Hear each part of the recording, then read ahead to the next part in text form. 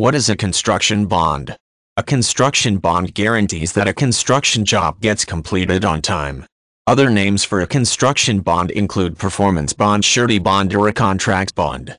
Laws require construction companies, builders, or general contractors to obtain a construction bond for public projects. If the contractor is unable to complete a particular project, the surety company takes action to ensure that another contractor finishes the work. In most jurisdictions laws require contractors to provide a construction bond for public projects such as a new government office building or a highway. This protects public funds if the builder is unable to complete the project. These laws however do not necessarily apply to private projects. For private projects depending on the jurisdiction obtaining a bond may be matter negotiation.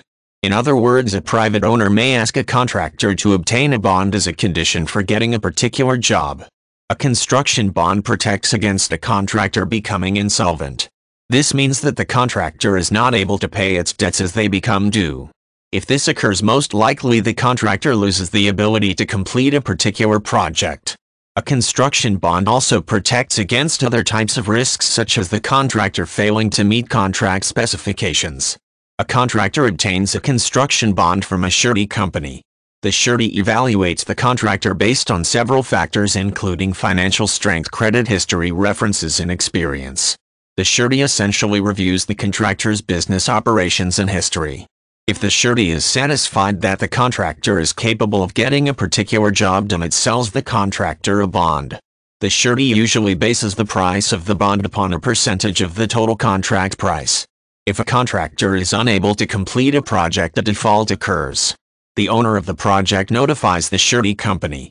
The bond obligates the surety to remedy the problem. The surety determines whether the default is legitimate. If it is the surety must hire another contractor to complete the job and possibly pay a penalty depending on the terms of the bond. The drawback of a construction bond is its cost. Since the price of a bond often depends on the costs of a particular project the expense for the bond may prohibit competition for projects. Less competition generally means higher prices. Ultimately a contractor passes the cost of the bond to the party paying for the job which in the case of a public project is generally the taxpayer. In a private project the property owner must decide whether he should require a contractor to obtain a bond unless local law and or a bank financing the project requires the bond.